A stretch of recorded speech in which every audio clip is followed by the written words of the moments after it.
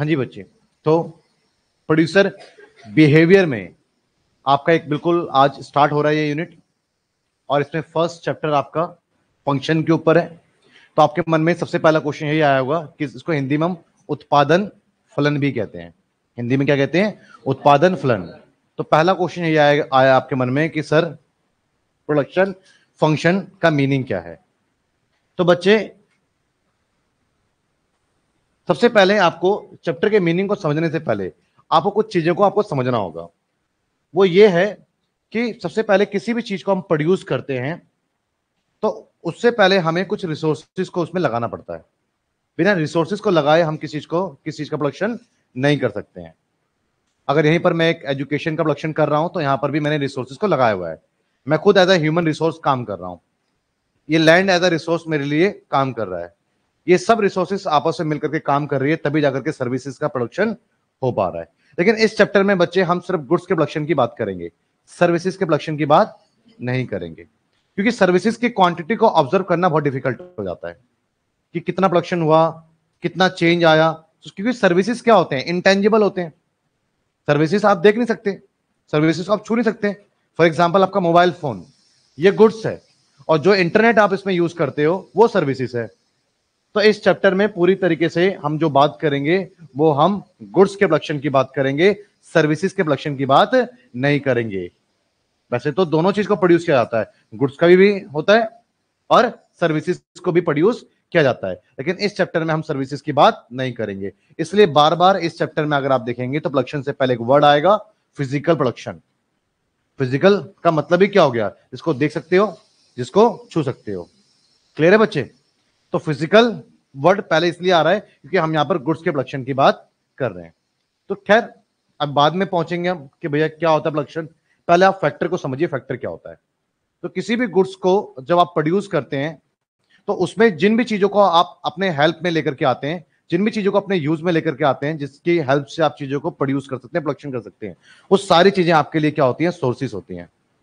और सोर्सेस को हम फैक्टर भी बोलते हैं। दोनों एक ही नाम है। हिंदी में साधन बोलते हैं सोर्सेस को, और फैक्टर को कारक बोलते हैं। तो आप चाहे सोर्सेस बोलो, चाहे आप फैक्टर बोलो, एक ही चीज़ है दोनों। दोनों का मतलब है, जो भी आपको प्रोड्यूस कर रहे प्रोडक्शन में, आपको हेल्प कर रही हैं, वो सारी चीज़ें आपके लिए एज अ फैक्टर या एज अ रिसोर्सेस आप उसको यूज़ कर रहे हैं। अब रिसोर्सेस भी बेसिकली बच्चे, जैसे यहाँ फैक्टर है। फैक्टर में आपको दिखाओ ना क्या क्या फैक्टर है। तो आप देखेंगे, मैं यहाँ पर शुगर का हो रहा है शुगर को प्रोड्यूस कर रहे हैं। अब शुगर को यहाँ पर प्रोड्यूस कर रहे हैं तो यहाँ पर एक तो ये मशीनरी का इस्तेमाल हो रहा है। तो ये मेरे लिए क्या है एज अ फैक्टर है। ठीक है ना? लैंड मेरे लिए फैक्टर है। और आप देखेंगे, ये रॉ मटेरियल है ना शुगर के, गन्ना। शुगर को अगर आप प्रोड्यूस कर रहे हो तो आपके लिए एज अ क्या क्या फैक्टर है, जिसकी हेल्प से आप शुगर का प्रोड्यूस कर पा रहे हैं प्रोडक्शन कर पा रहे हैं। तो एक तो ये मशीनरी आपके लिए फैक्टर है, और आप ये रॉ मटेरियल भी क्या आपके लिए? फैक्टर बिना रॉ मेटेरियल के तो आप प्रोडक्शन कर ही नहीं सकते ना। तो ये फैक्टर है। लेकिन दोनों फैक्टर में ना डिफरेंसेस है। दोनों फैक्टर जो है, दोनों में डिफरेंसेस है। कैसे? जो ये फैक्टर आप देख रहे हैं ना, इसको हम बोलते हैं फिक्स फैक्टर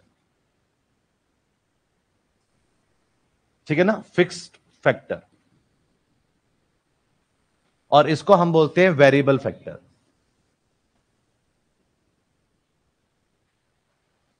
दोनों में फ़र्क है फिक्स फैक्टर और वेरिएबल फैक्टर अब क्वेश्चन ये है कि सर फिक्स फैक्टर क्या होता है? वेरिएबल फैक्टर क्या होता है? और किस ब्याह पर आपने डिफरेंसेस करा है इसको?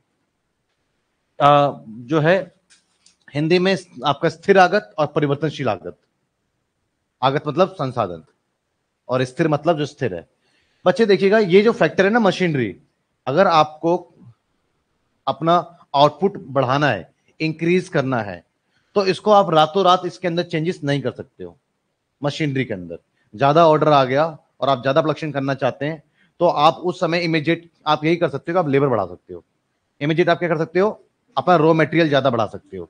लेकिन आप अपनी लैंड को एकदम से ही नहीं बढ़ा सकते हो। आप अपने मशीन प्लांट एंड मशीनरी को एकदम से ही नहीं बढ़ा सकते हो। अगर आपके पास ज़्यादा ऑर्डर आ जाए, मेरे पास में ज़्यादा स्टूडेंट आने लग जाए तो मैं नंबर ऑफ़ बैचेस बढ़ा सकता हूँ। लेकिन एकदम से मैं जो है बड़ा स्पेस नहीं ले लूँगा। मैं लूँगा, लेकिन उसमें मुझे एक समय लगेगा। तो शॉर्ट रन में जिस फैक्टर में चेंजेस लाया जा सकता है शॉर्ट रन मतलब छोटा समय, कम समय कम समय में जिस फैक्टर में चेंजेस लाया जा सकता है, उस फैक्टर को हम क्या बोलते हैं? वेरिएबल फैक्टर और जिस फैक्टर में चेंजेस लाने में हमें लॉन्ग रन का जो है पीरियड लग जाएगा, लंबा समय लग जाएगा, उसको हम क्या बोलते हैं? फिक्स फैक्टर क्लियर है? तो शॉर्ट रन में एक फैक्टर ऐसा होगा जिसके अंदर आप चेंज कर सकते हो और शॉर्ट रन में एक फैक्टर ऐसा होगा इसमें आप कोई भी चेंजेस नहीं कर पाओगे। तो जिसको आप चेंज कर सकते हो, जिस फैक्टर में, जिसकी क्वांटिटी आप बढ़ा घटा सकते हो, उस फैक्टर को आप वेरिएबल फैक्टर बोलोगे। और शॉर्ट रन में जिसकी क्वांटिटी को आप घटा बढ़ा नहीं सकते हो, उस फैक्टर को आप फिक्स फैक्टर बोलोगे। तो लैंड एक एग्ज़ाम्पल है लैंड भी फैक्टर है और लेबर भी फैक्टर है, लेकिन लैंड एक एग्ज़ाम्पल है फिक्स फैक्टर का, क्योंकि उसको आप शॉर्ट रन के अंदर चेंज नहीं कर सकते हैं। लेकिन लेबर आपका जो एग्ज़ाम्पल है वो है फिक्स फैक्टर का, ओ सॉरी वेरिएबल फैक्टर का। क्योंकि अगर आपके पास में ज़्यादा अगर आपका ऑर्डर आ जाता है तो आप ज़्यादा लेबर अपने जो है, आप इमीडिएट अरेंज कर सकते हैं और ज़्यादा प्रोडक्शन अपना कर सकते हैं। क्लियर है बच्चे? तो लैंड हमारा कौन सा फैक्टर है? फिक्स फैक्टर और लेबर कौन सा फैक्टर है? तो अभी तक आपको समझ में आ गया फैक्टर क्या होता है? आप किसी गुड्स का प्रोडक्शन कर रहे हैं उसमें जो चीज़ें आपको हेल्प प्रोवाइड कर रही है, वो सारे के सारे फैक्टर आपके लिए, वो सारे सारे जो रिसोर्स हैं, वो आपके लिए फैक्टर यूज़ होते हैं। फैक्टर कितने टाइप्स के हो गए? दो टाइप्स के। आपके पास में variable factor and fix factor fix factor वो फैक्टर हो गए, जिसको आप जो है शॉर्ट रन में चेंजेस नहीं कर सकते हो। और वेरिएबल फैक्टर वो वो फैक्टर हो गए, जिसको आप शॉर्ट रन के अंदर भी चेंजेस कर सकते हो। Capital machinery plant and machinery तो प्लांट एंड मशीनरी आपका जो है फिक्स फैक्टर है। प्लांट एंड मशीनरी को आप इमीडिएट चेंज नहीं कर सकते हैं। उसमें टाइम लगता है प्लांट एंड मशीनरी में को शिफ्ट करने में। क्लियर है बच्चे? रॉ मटेरियल आपका वेरिएबल फैक्टर है उसको आप इमीडिएट उसकी क्वांटिटी बढ़ा और घटा सकते हो। क्लियर है? तो आपको फैक्टर समझ में आ गया? अब देखिए ये क्या है? ये आपके पास में आ, ये आपका रिसोर्स है जो रॉ मटेरियल है। और ये आपका आउटपुट है, जो सुगर है। इसके बीच में एक टेक्निकल रिलेशन स्टैब्लिश हुआ है। ऐसा ही नहीं है कि गन्ना पड़ा पड़ा अपने आप चीनी बन गया। गन्ने खेत में बैठे रहे बैठे रहे, देख रहे हैं, कब चीनी बनेगा जो भरू पन्नी में, पन्नी लेके चले गए। ऐसा नहीं है। उसमें कोई ना कोई टेक्निकल रिलेशन आप स्टैब्लिश करोगे, किसी प्रोसेस से निकालोगे, तब जाकर के वो शुगर जो है जो है, वो शुगर केन जो है, वो शुगर में कन्वर्ट हो पाएगा। वो गन्ना जो है, वो चीनी बदल पाएगा। तो आप इस बात को समझिएगा कि आपके पास में रिसोर्सेस में और आपके आउटपुट में एक टेक्निकल रिलेशन होता है। एक संबंध पाया जाता है कि रिसोर्सेज में जब तक आप कोई भी प्रोसेस नहीं लगाते हो, तब तक वो रिसोर्सेज आपका आउटपुट के अंदर कन्वर्ट नहीं होगा। तो इसको कहते हैं टेक्निकल रिलेशन का होना। किसके बीच में? रिसोर्सेज के बीच में और आउटपुट के बीच में। जो ये टेक्निकल रिलेशन होता है ना, इसी को, इस रिलेशन को, उस रिलेशन को हम क्या बोलते हैं? प्रोडक्शन फ़ंक्शन ठीक है ना? Technical relationship between resources and output is called production function clear है बच्चे? तो हम यहाँ पर बेसिकली फिक्स फैक्टर को ना जनरली क्या होता है? कैपिटल से रिप्रेजेंट करते हैं के से। फिक्स फैक्टर को किससे रिप्रेजेंट करते हैं? के से। और आपके पास में, अगर मैं प्रोडक्शन फ़ंक्शन की बात करूँ तो यहाँ पर दो चीज़ें यूज़ होंगी। दो फैक्टर यूज़ होंगी। कौन कौन सा? एक आपका कैपिटल और एक आपका लेबर। क्लियर है? जिसमें कि कैपिटल क्या है आपके लिए? फिक्स फैक्टर है। और लेबर क्या आपके लिए? वेरिएबल फैक्टर है। तो आप कोई भी अगर आप फ़ंक्शन देखते हैं, प्रोडक्शन फ़ंक्शन देखते हैं तो उस प्रोडक्शन फ़ंक्शन में आपको एल और के शब्द का आपका इस्तेमाल होगा। ये लेटर्स आपको यूज़ होंगे। तो वहाँ पर L means labour K means capital और किस शॉर्ट रन में किसी भी कम्युनिटी का प्रोडक्शन कर रहे हैं तो सिर्फ़ और सिर्फ़ वेरिएबल फैक्टर से प्रोडक्शन नहीं हो सकता है। या फिर सिर्फ़ और सिर्फ़ आपका आ, जो है फिक्स फैक्टर से प्रोडक्शन नहीं होगा। प्रोडक्शन करने में हमें दोनों फैक्टर को यूज़ में लाना पड़ता है। अगर हम खेती भी कर रहे हैं तो वहाँ पर जो है दोनों ही फैक्टर यूज़ में आ रहा है। अब लोग कैसे सर? तो जो लैंड है वो क्या है? फिक्स फैक्टर और जो उस पर किसान है वो वो क्या है? तो किसी भी कम्युनिटी का प्रोडक्शन करते हैं हम शॉर्ट रन में तो हमें दोनों ही फैक्टर को यूज़ में लाना पड़ता है। फिक्स फैक्टर को भी और वेरिएबल फैक्टर को भी। इसलिए यहाँ पर फिक्स फैक्टर के लिए कैपिटल रखा गया है और वेरिएबल फैक्टर के लिए लेबर रखा गया है और, और आपको जो फ़ंक्शन प्रोडक्शन फ़ंक्शन उसमें के और एल वर्ड आपको देखने को मिलेगा। अब सवाल है सर शॉर्ट रन क्या होता है? शॉर्ट रन का मतलब सिंपल मतलब यार कम समय छोटा समय। या फिर एक ऐसा टाइम ऑफ़ पीरियड जिसके अंदर आप एक फैक्टर में चेंजेस नहीं ला सकते हैं और एक ही फैक्टर में आप चेंजेस ला सकते हैं। तो मतलब कहीं ना कहीं शॉर्ट रन की बात हो रही है। शॉर्ट रन किसे कहते हैं? एक कम समय मतलब एक डेफिनेशन में आप ये भी लिख सकते हो कि एक ऐसा टाइम ऑफ़ पीरियड जिसके अंदर आप एक ही फैक्टर में चेंज ला सकते हैं प्रोडक्शन को बढ़ाने के लिए, आप दूसरे फैक्टर में चेंजेस तो वो पीरियड मतलब शॉर्ट पीरियड है। और लॉन्ग रन किसे कहते हैं? लॉन्ग रन लॉन्ग पीरियड किसे कहते हैं? जिसमें आप जो है दोनों ही फैक्टर में चेंजेस और आने वाले पाँच साल के बाद मेरे जो है लैंड भी बढ़ा सकता है स्पेस बढ़ा सकता हूँ मैं। क्लियर है? तो आइए, कुछ शब्द है, पहले इसको समझ जाइए, आगे फिर अभी तो चैप्टर स्टार्ट तो सभी, मैं आपको क्या कर रहा है, ये आपका प्रोड्यूसर बिहेवियर है। और अभी तक आप कंज्यूमर बिहेवियर के ऊपर थे। तो कंज्यूमर बिहेवियर में एज अ कंज्यूमर आप लोगों को सोचना था आंसर करने के लिए। वो आपके लिए आसान था, क्योंकि एज अ कंज्यूमर आप पूरे दिन में कई बार बनते हैं। लेकिन अब आपका जो यूनिट है, वो है प्रोड्यूसर बिहेवियर अब आप लोग ये मान के चलिए कि आप सब क्या है? प्रोड्यूसर हैं। कुछ ना कुछ आप चीज़ों को प्रोड्यूस कर रहे हैं प्रोडक्शन कर रहे हैं। तो उस पॉइंट ऑफ़ व्यू से आपने सोचना है, तभी आप करेक्ट आंसर दे पाओगे। और सारे टर्म्स आपके लिए नए मिलेंगे, इसलिए मैं टर्म्स को बार बार अभी स्टार्टिंग की क्लासेस में बार बार मैं रिपीट कर रहा हूँ। अभी कॉन्सेप्ट तो मैं गया भी नहीं हूँ। क्लियर है बच्चे? ये आपके जो है, ये यूनिट आपके लिए बड़ा इंपॉर्टेंट आपके लिए रहेगा। यहाँ से भी एक न्यूमेरिकल आता है। इस चैप्टर में से भी आ सकता है प्रोडक्शन फ़ंक्शन में से, लेकिन कोस्ट में से तो डेफिनेटली आता ही आता है न्यूमेरिकल ध्यान रखिएगा। चलिए कुछ बेसिक बातें हो चुकी हैं। हाँ जी। What is the meaning of लक्षण फ़ंक्शन क्या मीनिंग ऑफ़ लक्षण फ़ंक्शन का? तो मैंने क्या बताया था आपको? आ, जो टेक्निकल रिलेशन होता है किसी किसके बीच में? आउटपुट में और आपका जो है रिसोर्सेज के बीच में। तो यहाँ पर आपसे क्या कह रहा है? In an economic such relationship is a known there is the exist the some relationship between the inputs and output inputs मतलब क्या? रिसोर्सेज को हम क्या बोलते हैं? भैया रिसोर्सेज को इनपुट्स बोल दीजिए रिसोर्सेज बोल दीजिए फैक्टर बोल दीजिए, तीनों एक ही शब्द है। सिनोनेम है तीनों। समझे? तो जो इनपुट्स और आउटपुट के बीच में जो रिलेशन होता है form in economic such relationship is known as the production function clear है बच्चे? Production function is an the expression of the technological relation between the physical inputs and the output of the good जो technical relation होता है उस technical relation को हम क्या बोलते हैं? हम बोलते हैं प्रोडक्शन फ़ंक्शन बताया था भी टेक्निकल रिलेशन क्या होता है? एक शुगर केन को मशीन में डाल करके हम क्या कर रहे हैं उसको? शुगर केन को. शुगर में कन्वर्ट कर रहे हैं. तो जो टेक्निकल रिलेशन पे हम अप्लाई कर रहे हैं, उसी को हम बोलते हैं production function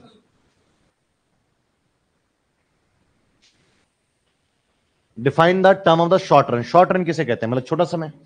तो क्या कहता है? Short run refer to the period in which the output can be change by the changing only variable factor short run वो होता है, जिसमें कि आप अपने आउटपुट में चेंजेस अगर लाना चाह रहे हैं तो सिर्फ़ और सिर्फ़ वेरिएबल फैक्टर में ही चेंज ला सकते हैं।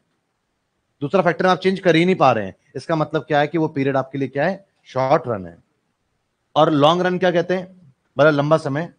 Long run refer to a period in which the output can be change अपने प्रोडक्शन को आप चेंज कर सकते हो by changing all factor production मैं अपने आउटपुट को चेंज कर सकता हूँ, बढ़ा भी, बढ़ा रहा हूँ, और किसकी वजह से?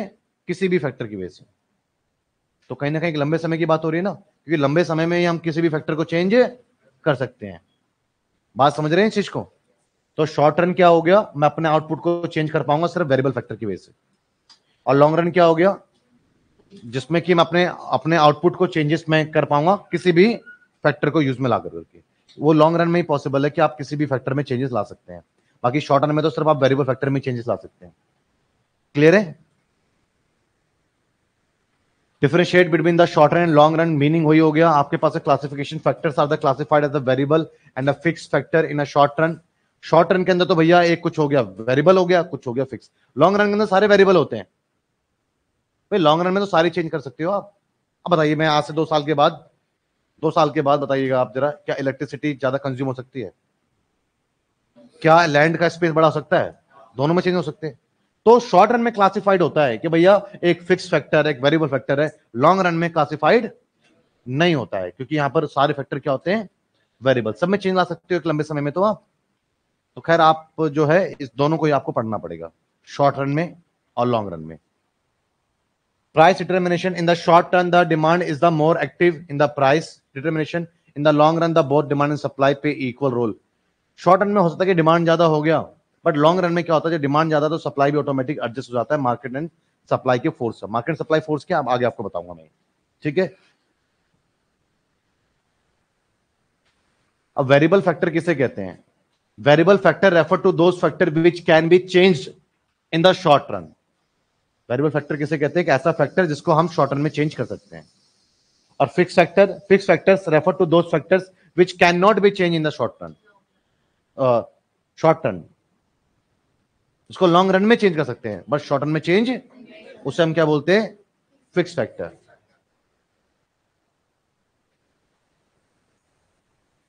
अब आपको टीपी क्या होता है? आपका एपी क्या होता है? एवरेज प्रोडक्ट एमपी क्या होता है? आइए, एक क्वेश्चन करते हैं। ये paper most most most important question है। आपको एपी टीपी एमपी सारे पी समझ में आ जाएँगे आपको।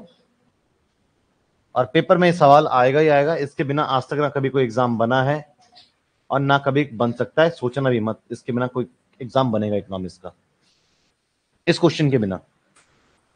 क्लियर है? लॉ ऑफ़ वेरिएबल प्रपोर्शन क्या होता है? वो सब बात की बात है। टेक्निकल टर्म को छोड़िए, देसी एग्ज़ाम्पल लेते हैं। उससे कुछ बातों को समझते हैं। ठीक है? हाँ जी, सर। एक किसान है, खेती कर रहा है। ध्यान से समझिएगा। इसको समझ लेंगे, बहुत कुछ समझ में आ जाएगा। लॉ वेरिएबल प्रपोर्शन समझ में आ जाएगा। एपी एंड एमपी समझ में आ जाएगा। टीपी समझ में आ जाएगा। Relationship between AP and MP समझ में आ जाएगा आपको। आपको न्यूमेरिकल समझ में आ जाएँगे। ये एक एग्ज़ाम्पल सब कुछ आपको करवा देगा। इस एग्ज़ाम्पल में तीस मिनट भी चले जाएँगे तो कोई बहुत बड़ी बात नहीं है, लेकिन आपको पूरा चैप्टर खत्म हो जाएगा, इस मान के चलिए। क्या एग्ज़ाम्पल समझते हैं? चलिए। मान के चलिए, बच्चे, आप किसान हैं और आप वीट का प्रोडक्शन कर रहे हैं। अब वीट का प्रोडक्शन कर रहे हैं तो आपको फैक्टर की रिक्वायरमेंट होगी। तो किस तरीके का फैक्टर चाहिए आपको? वेरिएबल या फिर आपको फिक्स तो आइए, चीज़ों को हम प्रोड्यूस करेंगे। प्रोड्यूस करने से पहले प्रोडक्शन करने से पहले एक काम कर लेते हैं बच्चे। हम अपने लिए फैक्टर को यूज़ ले आते हैं, ठीक है ना? एक फिक्स फैक्टर ले लेता हूँ।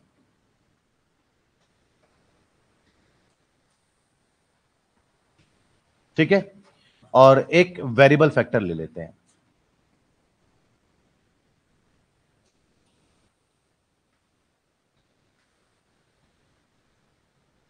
एक फिक्स फैक्टर ले लेते हैं और एक वेरिएबल फैक्टर ले लेते हैं। क्लियर है बच्चे?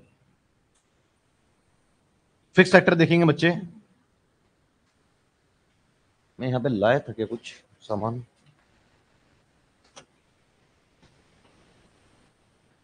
फिक्स फैक्टर देखेंगे बच्चे।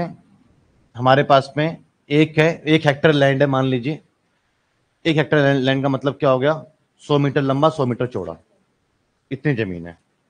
सौ मीटर, एक मीटर तो पता ही है ना आपको? ऐसे सौ मीटर लंबा और सौ मीटर चौड़ा। इसको हम क्या बोलते हैं? हेक्टर एक हेक्टर तो मान लीजिए मेरे पे एक हेक्टर लैंड है। तो ये मेरे लिए फिक्स फैक्टर है लैंड तो फिक्स फैक्टर में मैं क्या ले रहा हूँ? लैंड और वेरिएबल फैक्टर में क्या लू? लेबर। ठीक है बच्चे? तो मेरे पास में और यहाँ पर मैं ले रहा हूँ अपना।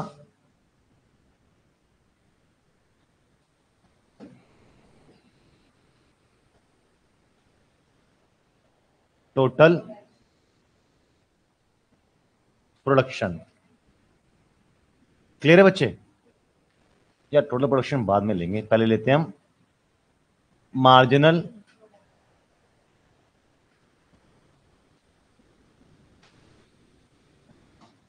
production. इसको वैसे हम शॉर्ट में ना एम पी पी भी बोलते हैं और एम पी भी बोलते हैं। एमपीपी मतलब मार्जिनल फ़िज़िकल प्रोडक्शन फ़िज़िकल मतलब इसको देख सकते हैं, छू सकते हैं। और एम एमपीवी बोल देते हैं हम मार्जिनल प्रोडक्शन तो एक ही चीज़ है क्लियर है? तो भाई साहब, आप जो है लैंड का यूज़ कर रहे हैं और एक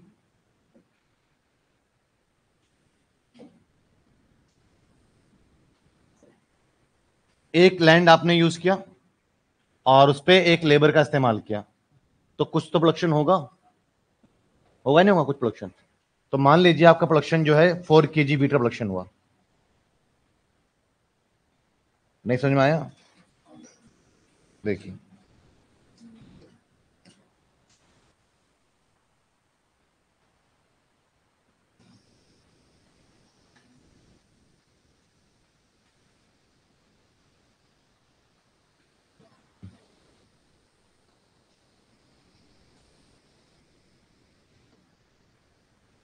ये खेत है भाई साहब आपका, ठीक है?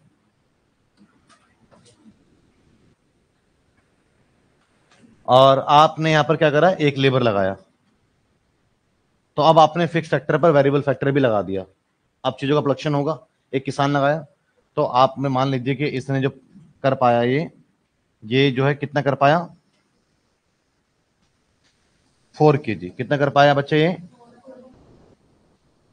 ये फोर के जी का प्रोडक्शन कर पाया। तो एक लेबर या एक वेरिएबल फैक्टर के आने की वजह से जो भी आपका प्रोड्यूस होता है प्रोडक्शन होता है, किसकी वजह से? वेरिएबल फैक्टर के एक आने से। उस वेरिएबल फैक्टर ने जितना भी आपको प्रोड्यूस करके दिया प्रोडक्शन करके दिया, आप वेरिएबल फैक्टर बोल दीजिए या तो लेबर बोल दीजिए, बात तो एक ही है, क्योंकि लेबर को वेरिएबल फैक्टर बोलते हैं। तो एक वेरिएबल फैक्टर के आने से जितना भी आपका गुड्स जो है, जो भी आउटपुट आपका हुआ, उस एक एडिशनल वेरिएबल फैक्टर की वजह से उस आउटपुट को हम मार्जिनल प्रोडक्ट कहते हैं। समझे? क्लियर है? तो भैया एक लेबर आया, कितना प्रोडक्शन हुआ? चार। तो इसलिए को हमने क्या बोला? मार्जिनल प्रोडक्शन अब अगला फिर से क्या कर रहे हैं भैया? लैंड तो मेरे लिए इसमें चेंज आएगा लैंड के अंदर बताओ जरा। ये तो फिक्स फैक्टर है, जो पहले था, अभी भी वही होगा।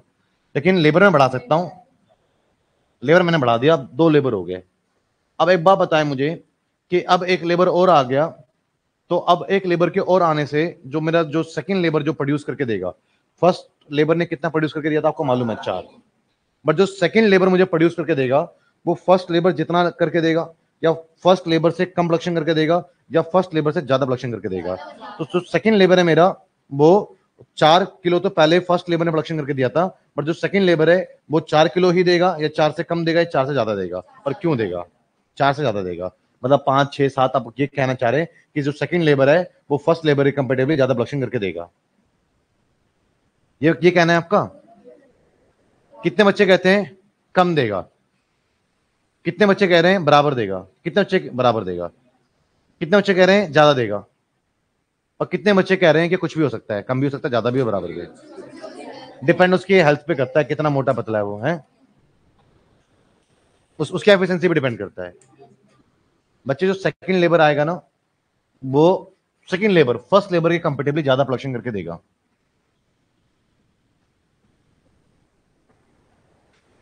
जो सेकंड लेबर है, वो फ़र्स्ट लेबर के कंपेटिवली ज़्यादा प्रोडक्शन करके देगा। क्लियर है? समझ में आया? सवाल है मन में, क्यों करके देगा भाई?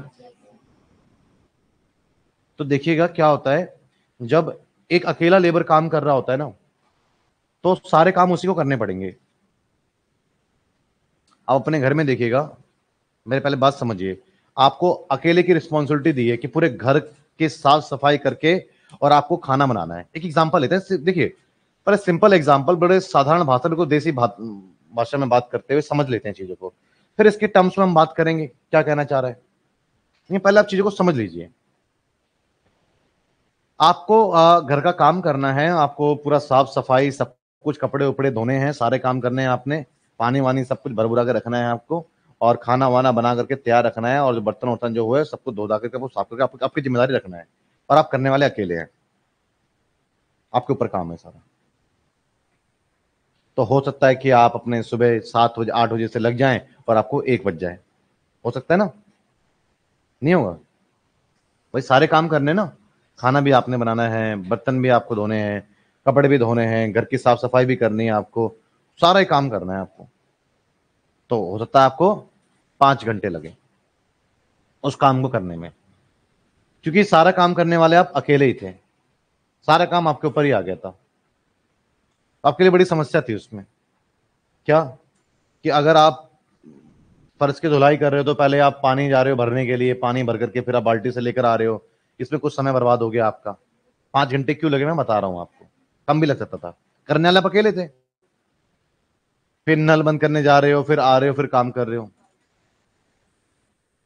हो रहा है ना आपके साथ में सर तो कुछ ना कुछ समय की बर्बादी नहीं होगी आपके साथ में। अब एक काम से हटके जब दूसरे काम में लगोगे तो शिफ्ट होने में कुछ टाइम आपका वेस्ट हो जाएगा। या फिर दोबारा आप उस काम पे वापस कुछ करने के लिए आओगे तो आपका समय तो इतना ऊपर नीचे अगल बगल इतना ही लग, चक्कर लग जाएँगे आपके कि आपका बहुत सारे समय की बर्बादी तो आपके पाँच घंटे में से मांगे चलिए एक घंटा तो आपने समय यही बर्बाद कर लिया। ऐसा रहेगा ना? क्योंकि आप काम करने वाले अकेले हैं। आपको पाँच घंटे लग गया। लेकिन आपके साथ में एक और दे दिया जाए काम करने के लिए। तो इसका मतलब ये नहीं कि आप दो लोग हो गए या एक पाँच घंटे कर रहा ढाई घंटे में काम होगा। अब ढाई घंटे में काम हो जाएगा, क्योंकि दो लोग हो गए ना करने वाले। अब काम ढाई घंटे में नहीं आप काम हो सकता है, डेढ़ घंटे में हो जाए। बस एक कानून, कायदे के हिसाब से एक बंदा कितने में, देर में काम कर रहा था? और दो लोग हो जाएँगे तो कितने घंटे में काम हो जाना चाहिए? ढाई घंटे में। लेकिन ढाई घंटे में नहीं होगा, पहले हो जाएगा, दो घंटे में, डेढ़ घंटे में काम हो जाएगा। कैसे? क्योंकि जो टाइम की जो वेस्टेज हो रही थी ना, अब वो नहीं होगी। अपना अपना काम बांट लेंगे। बात समझ रहे तो कुछ जो है आपकी टाइम की सेविंग हो जाएगी। जिसकी वजह से अब आप क्या कर पाएँगे? अब आपका टाइम बच जाएगा तो उसमें जितना टाइम पहले काम में लग रहा था उससे कम टाइम लगेगा। अगर आप उतना ही टाइम लगाते हैं तो पहले से ज़्यादा प्रोडक्शन आपको होगा। बात समझ रहे हैं? क्लियर है? अब इसी तरीके से क्या हुआ? जब एक किसान काम कर रहा था, सारे काम इसी को करने थे। तो ये चार केजी का प्रोडक्शन कर पा रहा था। जब एक और किसान आ गया तो अब क्या होगा कि एक और किसान आने की वजह से अब दो किसान हो गए तो कहीं ना कहीं ये वर्क डिवीज़न कर लेंगे, काम को आपस में बांट लेंगे। और काम को बांट के करने से क्या होता है, आपके उस काम में आपकी निपुणता, आपकी क्षमता, आपकी एफिशिएंसी इंप्रूव होती है। नहीं होती इंप्रूव काम को बांटे करोगे तो। जिसकी वजह से जितना एरिया कवर कर पा रहा था, अब एक और आ गया, अब अगला उतना ही एरिया कवर नहीं कर पाएगा। अब दोनों मिलकर काम कर रहे हैं। तो अगले के आने की वजह से आप पहले से ज़्यादा काम हो पाएगा। तो इसलिए पहले ज़्यादा एरिया कवर कर पाएगा। इसलिए प्रोडक्शन पहले से, अब जितना भी ग्रोथ होगा, भले ही दोनों ने मिलकर काम करा है, लेकिन इसमें जो है क्रेडिट सेकंड को चला जाएगा। जो आया तभी पॉसिबल हुआ। क्लियर है? तो सेकंड लेबर जब आएगा वेरिएबल फैक्टर लगाओगे तो प्रोडक्शन फ़र्स्ट जितना होगा या फ़र्स्ट से कम या फ़र्स्ट से ज़्यादा। क्यों फ़र्स्ट से ज़्यादा क्यों होगा? क्योंकि वर्क डिवीज़न हो गया। क्योंकि वर्क डिवीज़न हो गया। और स्टार्टिंग में आपका फिक्स फैक्टर अंडर यूटिलाइजेशन हो रहा था मतलब कि पूरा इस्तेमाल नहीं हो रहा था। और जैसे ही वर्क डिवीज़न हुआ तो दोनों के हेल्प से टाइम की सेविंग हुई। और वो उस सेम टाइम में अब ज़्यादा एरिया को कवर कर पाएँगे तो प्रोडक्शन भी पहले से ज़्यादा हो पाएगा। क्लियर है बच्चे? समझ में आए? तो कम भी नहीं होगा, बराबर भी नहीं होगा, पहले से ज़्यादा होगा because of division of work clear है? क्लियर है? समझ में आए नहीं आए अब बात करेंगे सेम ये तो चेंज नहीं होने वाला, एक और लगाया, अब इससे प्रोडक्शन क्या होगा? और वर्क वो सेम रीजन है। वर्क डिवीज़न आप और अच्छे से कर पाओगे, काम को और बांट पाओगे। तो अब आपके पास में और वर्क डिवीज़न हो गया।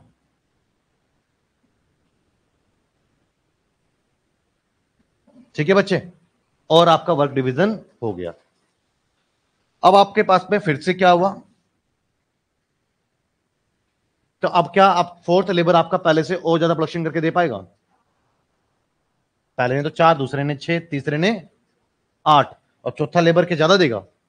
भाई, एक टाइम ऐसा आएगा कि आपके पास में जो फिक्स फैक्टर है, वो जो अवेलेबिलिटी है, वो कम हो जाएगा। नहीं होगा कम? अब एक कमरे में सौ लोगों को घुसा दें, बोले, सफ़ाई करो। हो जाएगी सफ़ाई? तो सौ को निकालोगे तो क्या मिलेगा? समझ में आया नहीं है आपको? भैया, एक लिमिटेशन होता है ना कि फिक्स फैक्टर इतना है तो उस पर इतना ही वेरिएबल फैक्टर ला सकते हैं। कंप्यूटर पे आपको क्या लगता है? दस लोगों को बिठा देने से काम टेन टाइम ज़्यादा हो जाएगा। है? भाई, एक कंप्यूटर पे एक ही बंदे की जगह है ना। तीन लोग बिठाओगे तो काम और खराब होगा, वो आपस में लड़ने मरने लग जाएँगे। एक दूसरे के कपड़े वपड़े फाड़ देंगे बेकार।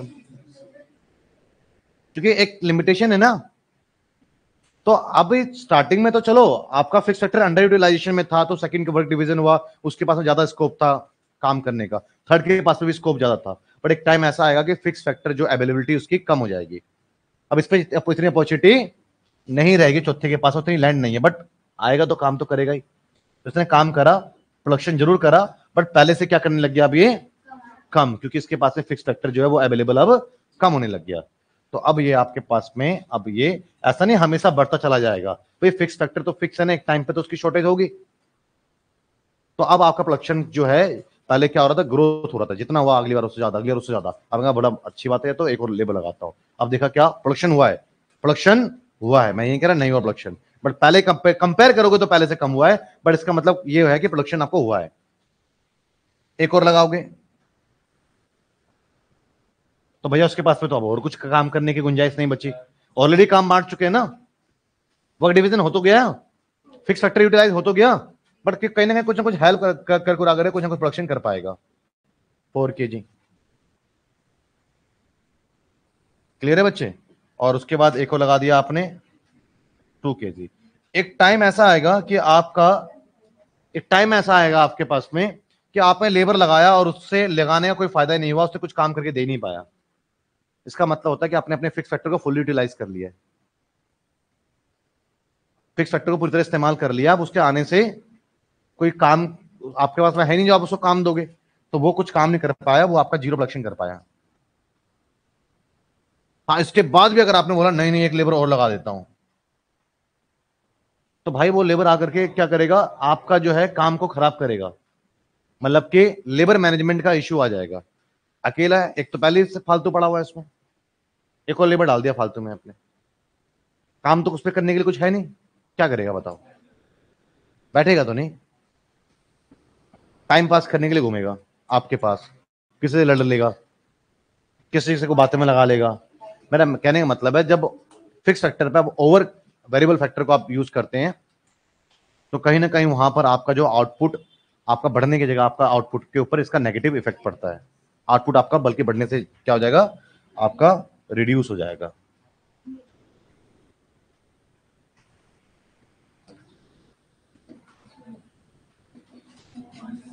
क्लियर है बच्चे? समझे? क्लियर है ना? क्योंकि यहाँ पर लेबर मैनेजमेंट इश्यूज़ आ जाएँगे। लेबर को मैनेज करना बहुत डिफ़िकल्ट हो जाएगा एक छोटे से स्पेस में। यहाँ पे दो टीचर पढ़ाने लग जाए। खैर कॉम्बिनेशन तो ये बनता है कि भैया एक एक कॉम्बिनेशन है कि भैया इस ज़मीन पर इतने स्पेस में एक ही टीचर पढ़ा सकता है। एक इतिहास पढ़ाने लग गया एक को पढ़ा रहा है।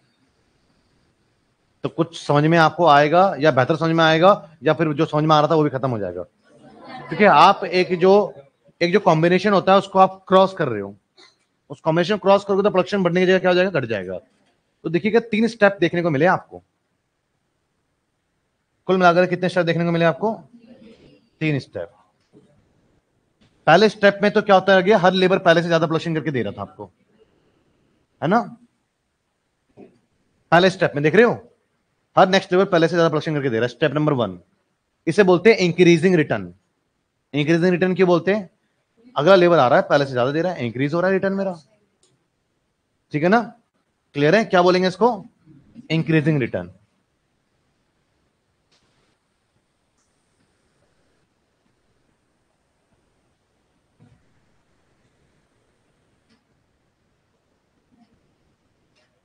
क्लियर है बच्चे? और ये सेकंड स्टेप देखोगे ना आपको रिटर्न बताइए पहले रिटर्न मिल रहा है या नहीं मिल रहा है? भाई आपके जेब में मैं आठ रुपए की जगह छह रुपए डालू तो जेब में आए तो पैसे? कुछ मिला नहीं आपको? मिला। रिटर्न तो है, लेकिन इसे क्या बोलोगे आप?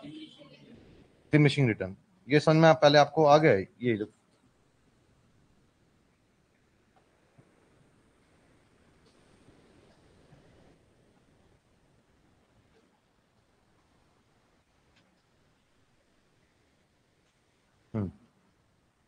हाँ जी बच्चे, देखिए जरा।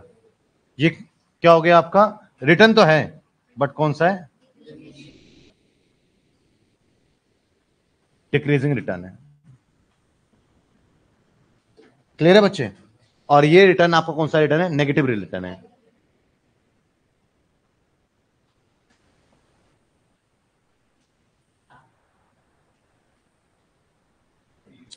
तो बच्चे, रिटर्न कितने टाइप्स के होते हैं आपके प्रोडक्शन में? तीन तरह के रिटर्न मिलते हैं आपको। आपका स्टेज इसको मैं क्या बोलूँगा? इसको स्टेज वन बोलूँगा। स्टेज वन ये कौन सा हो गया? स्टेज टू और ये हो गया मेरा स्टेज थ्री ये बात समझ में आपको आई? तो कितने स्टेजेस होते हैं प्रोडक्शन के आपके? थ्री पहले स्टेजेस पे रिटर्न कैसे मिलते हैं? क्यों मिलते हैं? क्योंकि हमारे पास में उस समय फिक्स फैक्टर अंडर यूटिलाइज हो रहा होता है। और उस समय जब हम लेबर को लगाते हैं तो वर्क डिवीज़न होता है, जिसकी वजह से प्रोडक्शन हमारा पहले से ज़्यादा होता है। और सेकंड में क्या मिलता है हमें?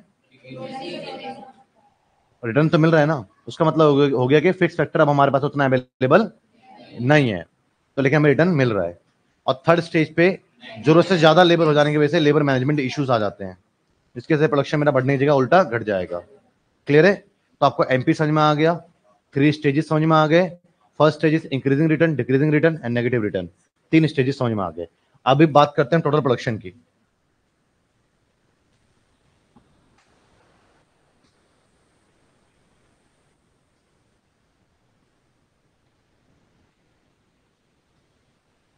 हाँ जी।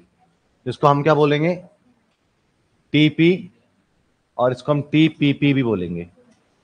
सिंपल सा इसका मतलब है, भैया, आप तो जितने लेबर आए, सबने करके कितना दिया है?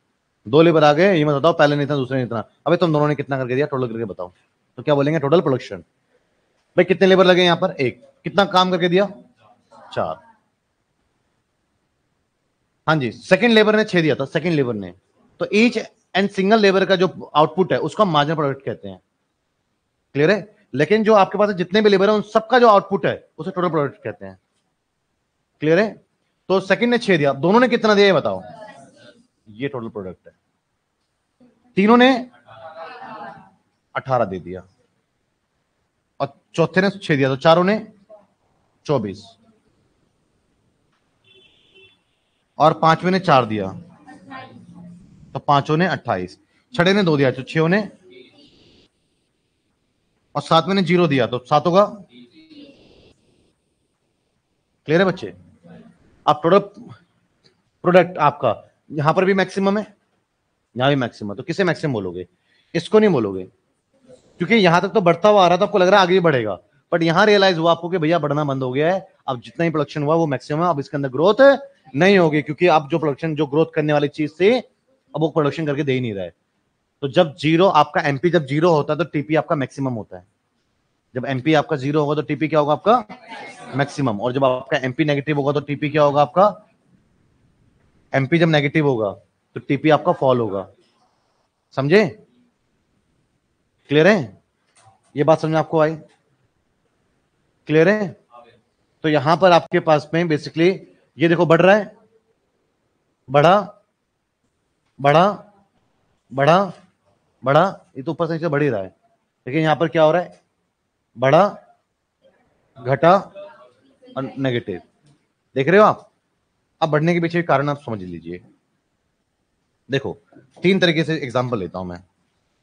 दस, बारह, चौदह, सोलह, अठारह, बीस। बढ़ रहे दस, बारह, पंद्रह, उन्नीस, चौबीस, तीस। बढ़ रहे दस, तीस पैंतालीस, पचपन, साठ। ठीक है ना? इकसठ। तीनों स्टेज में क्या हो रहा है? तीनों स्टेज में आपको, तीनों ही जो है एग्ज़ाम्पल जो लिए मैंने, तीनों ही एग्ज़ाम्पल में क्या देख रहे हो? लेकिन डिफरेंसेस है इसमें। क्या जरा देखो। कितना बड़ा? कितना? कितना? तो इसको बोलोगे आप increasing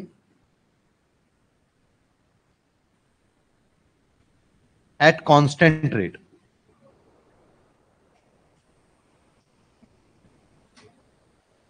increasing at constant rate clear है? समझ में आया बच्चे?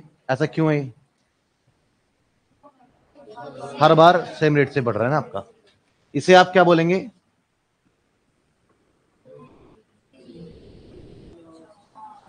और यहाँ पे पाँच, छ। इसको आप क्या बोलेंगे?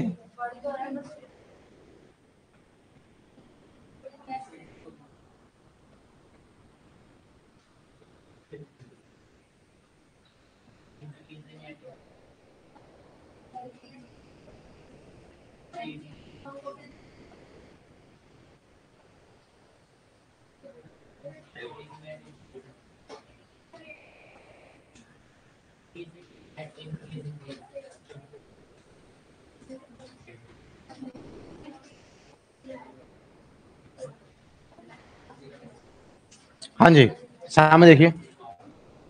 इसे क्या बोलते हैं हम? इंक्रीजिंग एट कांस्टेंट रेट और इसको हम बोलेंगे increasing increasing at increasing rate increasing rate है नहीं और ये भी इंक्रीज हो रहा है आपका। कितना हुआ? बीस। कितना हुआ? पंद्रह। कितना हुआ? दस। कितना हुआ? पाँच। कितना हुआ? एक। ये भी इंक्रीज ही तो हुआ है। इसको बोलते हैं हम इंक्रीजिंग एट डिक्रीजिंग रेट भाई, बात समझ में आई आपको? आपको तो अच्छी बढ़ती नज़र आ रही थी। अब रेट भी देख लिया करो उसका। हाँ जी। जो टीबी बढ़ा, कितना बढ़ा? कितना बढ़ा? तो ये इंक्रीज हुआ at a increasing rate clear है ना? इसको को आप क्या बोल दोगे? Increase at increasing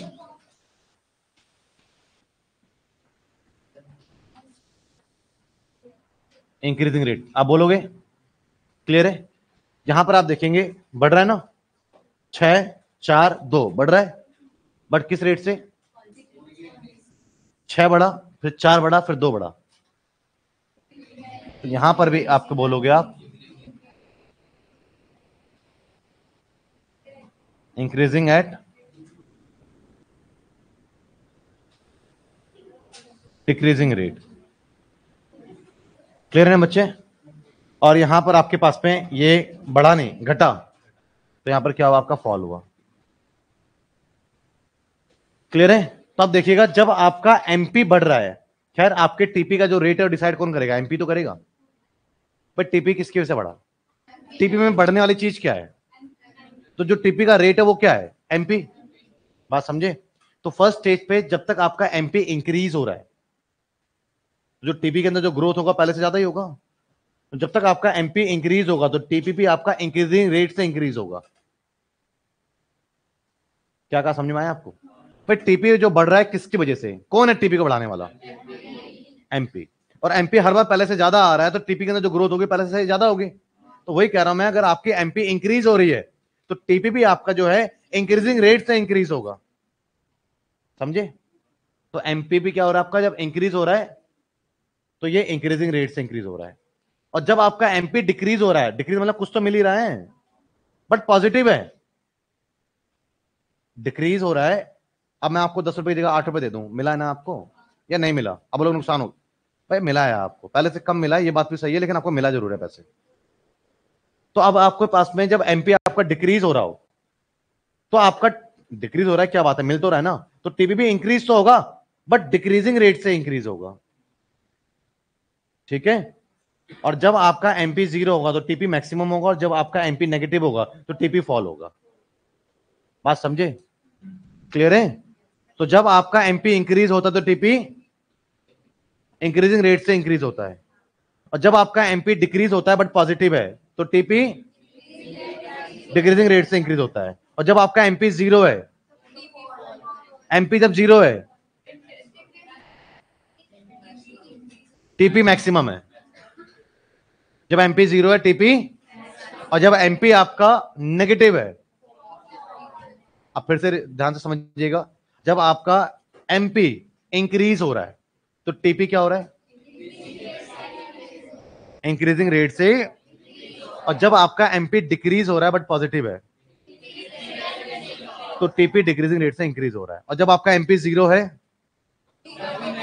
और जब आपका एमपी नेगेटिव है तो ये आपका जो आपने अभी बोला है ना, ये आपका एमपी और टीपी का रिलेशन है। एक क्वेश्चन आगे आएगा, हम इसी को रिपीट करेंगे। क्लियर है? और आप एक बात समझिए भैया फिक्स फैक्टर कितना है आपका? एक लेबर कितना लगा? एक ये रेशो हो गया ना? अब एक के साथ में कितना? दो? तो ये क्या हो गया? प्रपोर्शन हो गया ना? बच्चे प्रपोर्शन क्या होता है? रेशो क्या होता है? उसको समझिएगा। देखिएगा। बताइए, ये रेशो है ना? ये रेशो फिक्स है या चेंज हो रहा है? रेशो फिक्स है क्या? रेशो फिक्स है क्या? तो रेशो चेंज हो रहा है ना? तो इसको हम क्या बोलेंगे? वेरिएबल प्रपोर्शन वेरिएबल मतलब कि चेंजेस आ रहे हैं। किसमें? प्रपोर्शन में। तो जब भी आप फिक्स फैक्टर के साथ में वेरिएबल फैक्टर को चेंज करते रहोगे तो आपका प्रोडक्शन कैसे बिहेव करेगा? इसको बोलते हैं हम, आप बोलोगे कि पहले तो मेरा टीपीपी इंक्रीजिंग रेट से इंक्रीज होगा। सवाल क्या है? जब भी फिक्स फैक्टर में आप वेरिएबल फैक्टर लगाते चले जाओगे मतलब फिक्स फैक्टर और वेरिएबल फैक्टर का प्रपोर्शन चेंज होता चला जाएगा, तब तक आपका प्रोडक्शन कैसे चेंज होगा? तो आप बोलोगे, पहले स्टेज वन में एमपी मेरा इंक्रीज होगा, क्योंकि मेरा उस समय फिक्स फैक्टर अंडर यूटिलाइजेशन हो रहा था। मेरे पास में वर्क डिवीज़न हुआ, जिसकी वजह से मेरा जो है एमपी हर बार इंक्रीज होगा और टीपीपी इसका मतलब हुआ इंक्रीजिंग रेट से इंक्रीज होगा। सेकेंड स्टेज पर जब फिक्स फैक्टर वो अवेलेबल कम रह गया तो मेरा एमपी तो इंक्रीज मेरा एमपी तो आएगा बट वो डिक्रीज होगा, पहले से कम आएगा। और मेरा टीबीपी इंक्रीज होगा बट डिक्रीजिंग रेट से इंक्रीज होगा। ये लो है ना? और आपका फिर एमपी जब ज़ीरो होगा तो टीपी मैक्सिमम हो जाएगा, जब एमपी आपका नेगेटिव होगा तो टीपी फॉल हो जाएगा।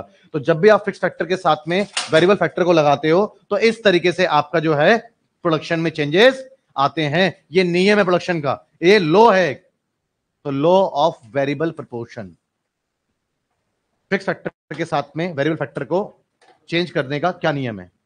ये नियम है। एमपीपी जब आपका इंक्रीज होता है तो टीपीपी इंक्रीजिंग रेट से इंक्रीज होता है एमपीपी जब आपका डिक्रीज होता है बट पॉजिटिव है तो टीपीपी डिक्रीजिंग रेट से इंक्रीज होता है, जब एमपीपी ज़ीरो टीपीपी मैक्सिमम और जब एमपीपी नेगेटिव है तो टीपीपी आपका फॉल क्लियर है बच्चे? लो भी याद हो गया आपको? लो वेरिएबल प्रोपोर्शन क्लियर है ना? सवाल कहता था explain the law variable proportion यही जो टेबल बनाया ना, बड़ा सिंपल है चार से शुरू कर देना। चार छ आठ पहले बढ़ाया, फिर घटाया। छ चार, दो, ज़ीरो फिर वहाँ से आप टीबी नहीं निकाल दोगे? फिर फैक्टर तो एक एक कर दोगे वेरिएबल फैक्टर एक दो तीन चार गिनती बनाओगे अभी। Explain the terms of returns to a factor देखिए फैक्टर लगा रहे हैं हम। पहले फैक्टर लगाया और उसके बदले में क्या मिला? रिटर्न्स नहीं मिल रहा था। तो उसको हम क्या बोलते हैं? Returns to a factor clear है बच्चे? Explain the terms of law of returns to a factor भैया, देखिए, एक फैक्टर लगाया और उसके लिए रिटर्न मिल रहा है। तो तीनों सवाल का मतलब एक ही है। क्लियर है? क्या कहता है? It shows the the nature of rate of change in output due to change in the variable factor in a short run बता रहा है कि भैया आउटपुट के चेंजेस किस प्रकार से होते हैं शॉर्ट रन में? When one input is a variable and all other inputs are fix जब एक इनपुट क्या रखा मैंने? वेरिएबल और एक क्या रखा? फिक्स रखा। Like land and labour this law shows the nature of the rate of change in the output due to change in the only one variable factor of proportion जब हम एक ही फैक्टर में change ला रहे हैं, दूसरे में changes नहीं ला रहे हैं तो मेरे टोटल आउटपुट में कैसा चेंज आएगा? Law variable proportion states that as we increase quantity of only one inputs keeping other inputs fixed मतलब समझिए मतलब क्या है? नहीं समझ में आया? अरे हिंदी में ले लो फिर। मातृभाषा में पकड़ लोगे जल्दी से। ज़बरदस्ती इंग्लिश लेके घूम रहे हो। लॉ ऑफ़ मैं मैं मैं खुद मेरे पास हिंदी मीडियम में थी। ग्यारहवीं बारहवीं में। कॉलेज में मैं गया, अच्छी खासी नॉलेज लेकर के। इको में आनवा स्कूल से पढ़ा हुआ था तो इंग्लिश मीडियम थी नहीं हमारे स्कूल में तो उस समय, अब तो होगी, अब तो आगे होगी इंग्लिश मीडियम तो उस समय हिंदी मीडियम ही एक मात्र ऑप्शन था। हिंदी मीडियम का शुरू से पढ़ाई का बैकग्राउंड भी रहा। तो हिंदी मीडियम में पढ़ाई करी हमने। आगे जब पूरी नॉलेज लेके गए हम तो कॉलेज वाले, पहले स्कूल वाले इंग्लिश में देके राज़ी नहीं थे, फिर कॉलेज वाले अब हिंदी में देके राज़ी नहीं है। अब जो सवाल भी टीचर पूछे तो मेरे को आंसर तो पता है, लेकिन उसका जवाब नहीं दे पाऊँगा, क्योंकि मेरे पास मीडियम कुछ हो रहा है। और क्लासेस में सारे बच्चे इंग्लिश मीडियम के हैं। अब बड़ी समस्या। तो बात समझ में आए कि इस देश के पिछड़ेपन का सबसे बड़ा कारण क्या है? इस, इस देश में लैंग्वेज आप लैंग्वेज का इतना इंपॉर्टेंस रहता है कि आप कम्युनिकेट कर पाए बस।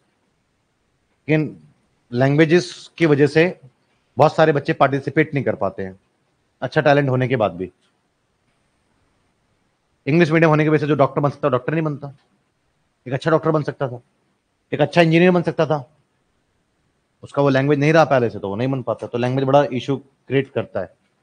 बट कोई बात नहीं अब तो धीरे धीरे लैंग्वेजेस के अंदर इंग्लिश मीडियम होता जा रहा है। पहले आधा हिंदी आधा इंग्लिश चलता था स्कूल में भी। अब ऑलमोस्ट सत्तर से अस्सी परसेंट चीज़ें इंग्लिश मीडियम हो गई अस्सी बीस परसेंट ही रह, रह गया होगा अब आपका हिंदी मीडियम फिर भी बड़ा आसान बड़े इजी लैंग्वेज में कहने की कोशिश कर रहा हूँ। लॉ वेरिएबल प्रोपोर्शन आप बोलोगे, सर एलबीपी क्या है? अरे लॉ ऑफ़ वेरिएबल प्रोपोर्शन है। States that as we increase quantity of only one input उसका क्या मतलब है? ओनली वन इनपुट मतलब अगर आप एक वेरिएबल फैक्टर में चेंजेस कर रहे हैं कीपिंग अदर इनपुट्स फिक्स्ड क्या मतलब है? लेबर में चेंज कर रहे हैं और लैंड को फिक्स रख रहे हैं। वही वही बात कह रहे हैं ना? Total product TP initially increasing at increasing rate then at a decreasing rate and finally at the negative rate जो उसका रेट है इंक्रीजिंग का। To a factor referred to the uh, resultant increasing in the total product when the only one factor वही बात repeat करेगा। Clear है? तो वही चीज़ें आप रिपीट करेंगे आप वो बातें लिख सकते हैं। अब बात बच्चे अच्छा मैं पढ़ाने में लग गया मैं डायग्राम तो बनाया नहीं था इसका। क्लियर है? अब डायग्राम इसका कैसे बनेगा? सवाल इसका। टाइम ज़्यादा नहीं हो गया है? Okay.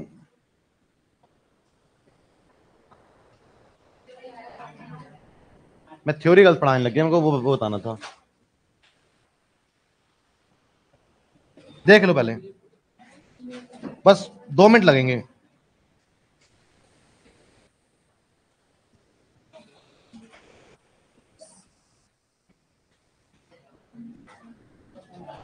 कहाँ है ये क्वेश्चन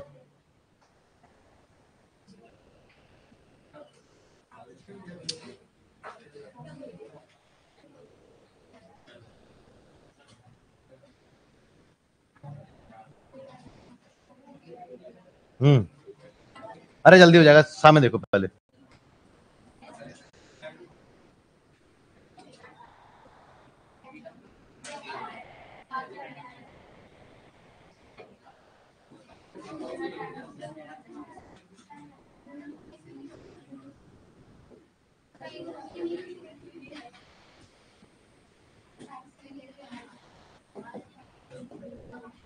हाँ जी बच्चे प्लीज़ सामने देखिएगा। मैं टोटल प्रोडक्ट की बात कर रहा हूँ और नीचे आउटपुट है। टीपी आउटपुट है। टीपी आउटपुट है। मैं क्या कर रहा हूँ? हर स्टेज का एक अलग डायग्राम बना रहा हूँ। तीन स्टेज है तो तीन डायग्राम बना देता हूँ। पहले स्टेज में क्या हो रहा है? रिटर्न कैसा हो रहा है? इंक्रीजिंग तो इंक्रीजिंग रिटर्न है ना, आपको कुछ ऐसा रहेगा। मतलब एक चीज़ बढ़ रहा है, दूसरा बढ़ रहा है, नहीं बढ़ रहा है बताओ।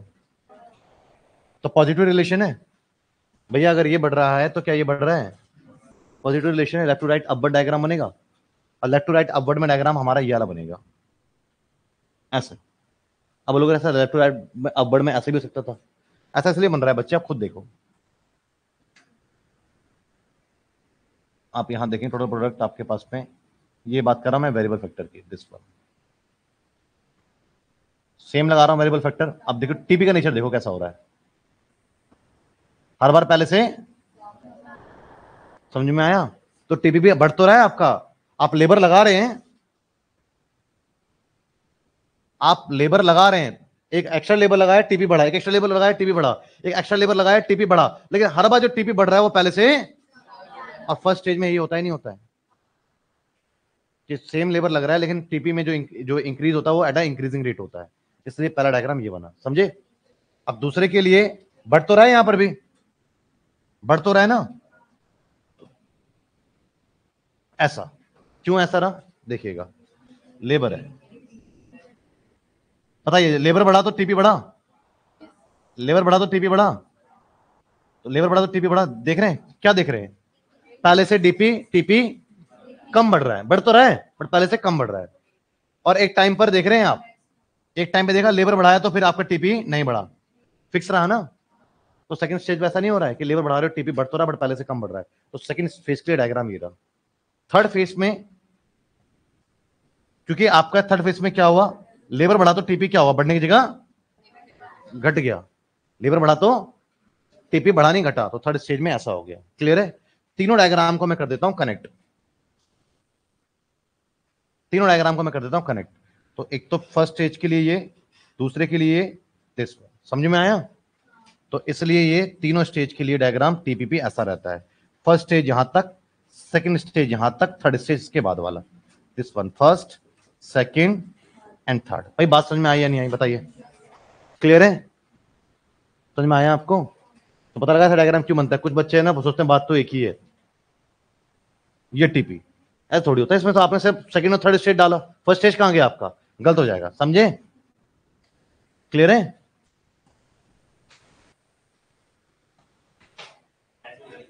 देख रहे हैं first stage second stage and third stage और एमपी देख रहे हो आप, जब तक टीपीबी आपका इंक्रीजिंग रेट से इंक्रीज हो रहा है तो एमपी आपका इंक्रीज हो रहा है। और जब आपका टीपीपी सेकंड स्टेज तक गया तो एमपी आपका फॉल हो रहा है। और जब आपका एमपी ज़ीरो हो गया तो टीपी आपका मैक्सिमम है। जब एमपी आपका नेगेटिव हो गया तो टीपी फॉल हो रहा है। मैं रिलेशन में डायग्राम को दोबारा बनाऊँगा, ठीक है? ये वो ये stage one stage two stage three three stages में डिवाइड है क्लियर है बच्चे?